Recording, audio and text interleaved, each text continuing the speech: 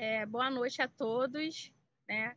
É, gratidão primeiramente a Deus, né, por estar participando com vocês, né, nesse, né, nessa pós-graduação, uma, especializa uma especialização ótima, tá? E muito interessante. Sempre gostei de fitoterapia, é, né, do, das plantas medicinais, dos fitoterápicos, e resolvi, né, é, entrar na, nessa especialização e foi muito bom, muito bom mesmo. Tive uma, estou tendo ainda uma dificuldade em relação, é, na parte financeira, porque eu fiz, né, naquela, naquela empolgação, né, mas eu, a minha vida é muito corrida.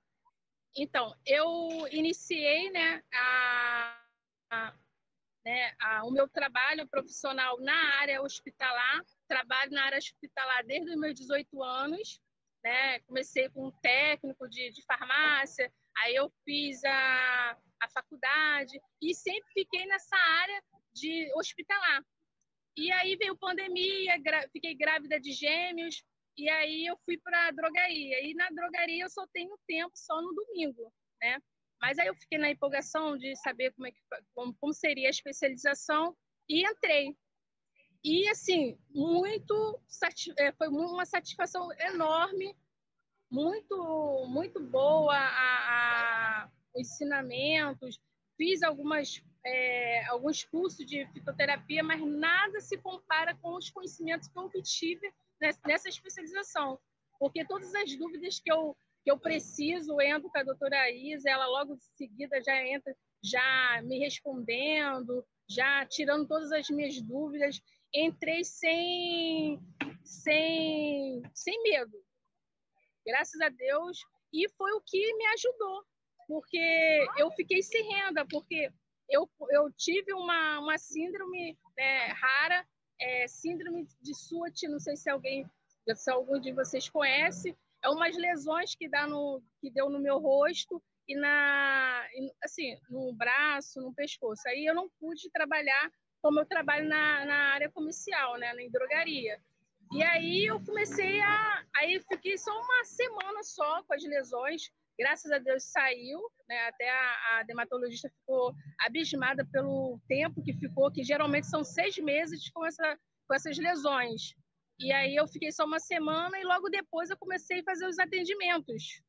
Teve uma semana é, que eu atendi quase uns 20 pacientes. Aí eu comecei a atender parentes, e aí com um valor mais acessível, 50 reais, 100 reais, aí eu fui, fui, fui atendendo, atendendo, atendendo, e aí né, acabou que eu perdendo o medo do, de atender. Aí, graças a Deus, já, te, já consegui já é, paciente, na, na eu, o meu foco é mais em emagrecimento e ansiedade. E aí já tenho já paciente já fazendo a segunda consulta, é, gostando, e sempre tem é, paciente que entra comigo pedindo opinião.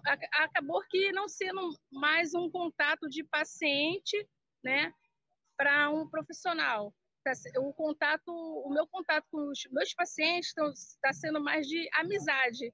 Que aí entra comigo, conversa, aí diz que gostou muito da, da, da né, das conversas, da amizade, né, que a gente cria um vínculo, né, que todos os dias eu entro em contato. Eu fiz um grupo, né, que eu fiz um grupo de emagrecimento e um grupo de ansiedade. Aí cada um ajuda o outro e aí sempre tem a, a, aqueles desabafos. Hoje eu não consegui fazer a dieta.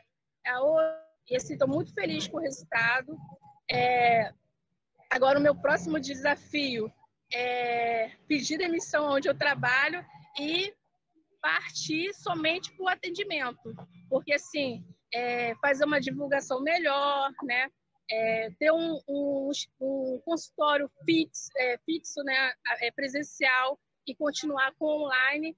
E aí o meu, meu próximo desafio é esse.